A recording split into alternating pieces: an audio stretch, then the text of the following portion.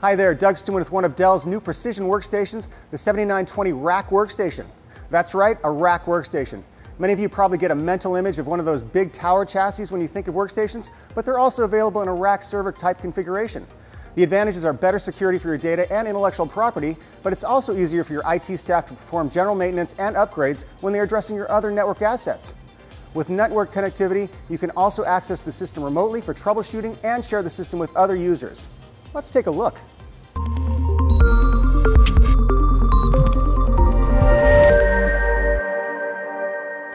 It's been about four years since Dell upgraded their line of workstations, and from a technology standpoint, that's a long time. They also planned the release of these new workstations with the 20th anniversary of the very first Dell workstation, the powerful Workstation 400, with a 128 megabyte, yes, megabyte graphics card and a cost of about $12,000. Factor in inflation, that's about $20,000. And as we've all been told, the equipment that NASA used for the first spaceflight took up a full room and had the capacity of a modern day cell phone, and not even a really good one. Bottom line, four years is a long time, but the time was well spent with four new platforms. The 5820 tower, the 7820 tower, the 7920 tower, and the 7920 rack workstation we have here. All are capable of supporting SAS, SATA, HDDs, and SSDs, U.2 NVMe, and M.2 storage devices, and lots of them. There are slight differences between the rack and tower versions of the 7920 workstation.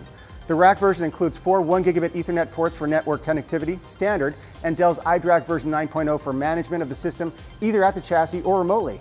The tower version also supports up to four Gen 3 graphics cards or up to three 250 watt double wide GPUs totaling 750 watts of GPU goodness, while the rack version will support up to three double wide GPUs at up to 300 watts each or 900 watts total for graphics support. The rack version surprisingly supports less storage with only 8 3.5 or 2.5 inch hard drives supported compared to 12 total on the tower.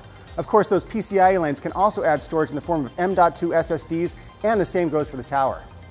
Are you considering purchasing one of these Dell Precision 7920 rack workstations? If you are, we have them in stock, and for a limited time, you can save up to $250 off the purchase of a system listed at $2,500 or more.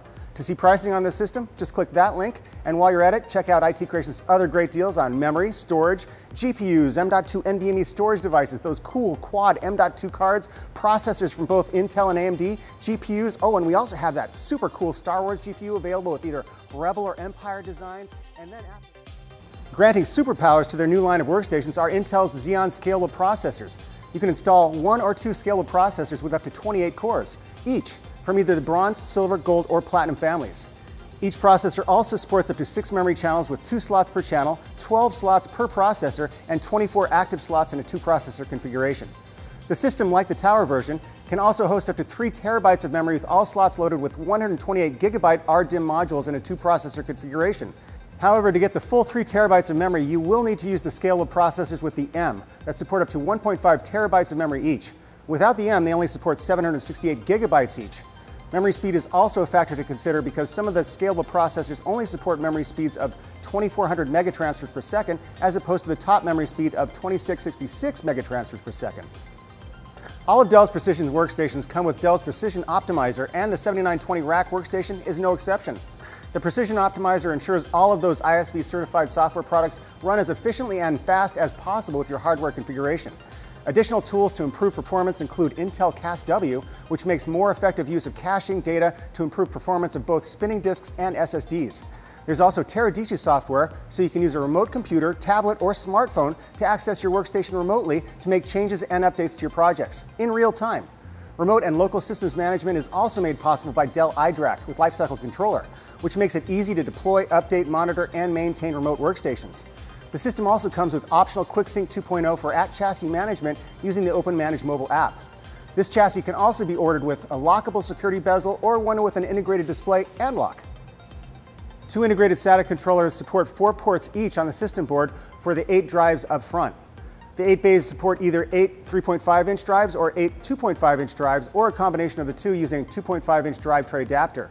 If you want SAS drives, you can also install the new Series 10 controllers, H740p, or save a few bucks and go with the older Series 9 PERC controller like the H330 or H730p. Both Series 9 and 10 controllers offer more RAID options, faster connection speeds at 12 gigabits per second, support for SAS drives, and more cache, but you will get significantly more cache with the Series 10 controllers. An optional internal dual SD card module with vFlash can be used to support your hypervisor, with the vFlash card acting as additional storage for iDRAC. There are eight Gen 3 PCI slots supported by three risers, with four controlled by CPU 1 and the other four controlled by CPU 2. With a single processor installed, you only get a single by-16 slot for one of those GPUs. The second CPU adds two more by-16 slots to support two more double-width GPUs for a total of three. If you need more storage than those up-front drives, then you can install up to eight NVMe Express Flash PCI SSDs using two Dell Precision UltraSpeed Drive Quad by 16 cards. However, those quad cards require two processors, and both cards must be installed on CPU slots 4 and 8, which also happen to be the recommended slots for the GPUs. The ports on the back of the system are what you would expect to find in any of Dell's servers. It features a system identification button, RJ45 port for iDRAC, a VGA connector, old school serial port, dual USB ports, a slot for a network daughter card, NDC, and dual PSUs for redundancy. You also get a few more ports up front, including optional quick sync for at chassis management. The network daughter card can also be switched out to add more ports or faster connection speeds. Your staff can connect to the rack workstation either through the local network on a PC or thin client. To access the workstation remotely, they can use Teradici with either their PC or a tablet. Teradici sends only host-rendered encrypted pixels so your data stays secure on your remote workstation. The Dell Precision 7920 Rack Workstation offers a platform that has very similar performance compared to the 7920 Tower Workstation, but makes it easy to share between several users. Security is also enhanced simply because the server room is often in a secure environment, but users will also benefit from a host of other security features built into the system to protect data. We just received the Dell Precision 5820 workstation tower a few days ago, so look for a review of that system in the next two or three weeks. If you want more information on this system, I placed a few links in the description below, and if you're interested in pricing this system and checking out a few other workstations at the same time, click that link. If you have any questions on this platform or any other, post them in the comments section below. Like, share, and subscribe. I'm Doug Stuman with IT Creations, and thanks for watching.